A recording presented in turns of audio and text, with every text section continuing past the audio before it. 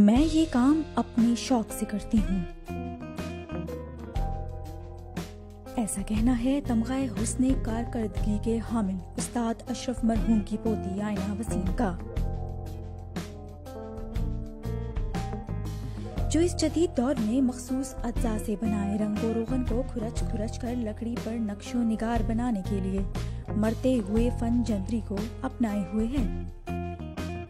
हमारे ये शहर डेरा सिम खान जो है, ये दहशतगर्दी का बहुत ज़्यादा शिकार है, जिसकी वजह से लोगों के माइंड स्टेबल नहीं है, जिसकी वजह से लड़कियाँ बाहर ज़्यादा नहीं निकल सकती थी।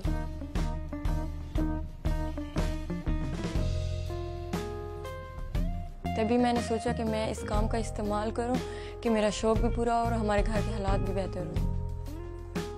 तभी काफ़ी लोगों ने मज़ाक उड़ाया कि इस काम का कोई ट्रेंड नहीं, लेकिन मैंने अपने काम के ज़रिए सबको ये मैसेज दिया कि ऐसा कुछ नहीं।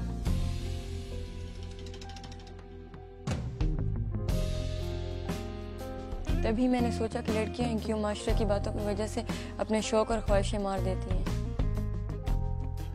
मैंने पढ़ाई के साथ इस काम को भी जारी रखा और वुमेन एम्पावरमेंट की एक छोटी सी मिसाल भी कायम की। लोग अब मेरे इस काम को बहुत ज़्यादा पसंद करते हैं और मैं इसी काम की वजह से ही पहचानी जाती हूँ।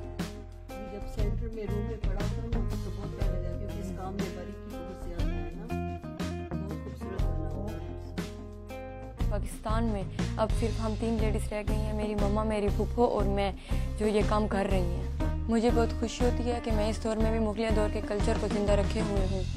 हम ये काम करते हैं तो हमारे हाथों में बहुत ज़्यादा पेन होता है। दो दो तीन तीन मंथ हम बना के रखते रहते हैं, जो बिकती ही नहीं है। हमारे घर का सारा दारो मदार इसी काम पे है, जो कि हमारे हालात में ख़राब हो जाते हैं। अगर ये बिके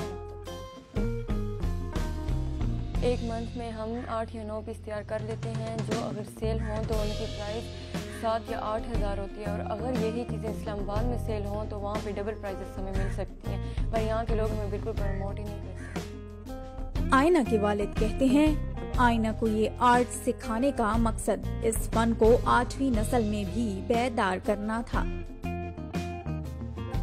ये काम करते हुए तकरीबन सैंतीस साल अठतीस साल हो गए। हैं ये काम मैंने अपने वाले साहब से सीखा है, उस्ताद मोहम्मद अशरफ, जिनको हुकूमत पाकिस्तान ने प्राइड ऑफ़ परफॉर्मेंस से नवाजा था। साल के बाद काम मेरे वाले साहब को मिला हुआ था और बारह मुल्कों का अवार्ड भी है हमारे पास। ये हमारा ख़ानदानी काम है जो पाँच सौ साल से हमारा ख़ानदान कर रहा है। हमारे जो बुज़ुर्ग थे, उस्ताद करम अली, उन्होंने पाँच सौ साल पहले ताजमहल आगरा पे काम किया था। मेरी बेटी को आठ नौ साल हो गए हैं ये काम करते हुए। उसे मैंने सिखाया। हर कोई तो तकरीबन ये बेटों को सिखाता है, लेकिन मैंने कहा है कि नहीं, पहले मैं ये अपनी बेटी को सिखाता हूँ काम। ये काम हम सुबह तकरीबन सात, साढ़े सात बजे स्टार्ट करते हैं। फिर मगरब के टाइम हम घंटा, दो घंटे वक्फा करते हैं। फिर उसके बाद जो है ना, बिलाना का हम ये दो, ढाई बजे तक रात को ये काम हम जारी रखते हैं, करते रहते हैं। आईना इन फन पारों को अपनी ज़िंदगी का साथी करार देती हैं।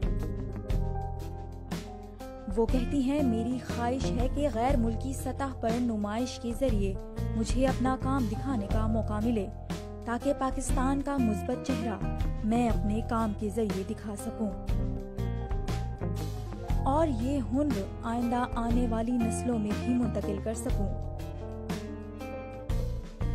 क्योंकि पाकिस्तान में ये नायाब फन सिर्फ़ और सिर्फ़ हमारे खानदान के चंद लोगों तक बाकी रह गया है।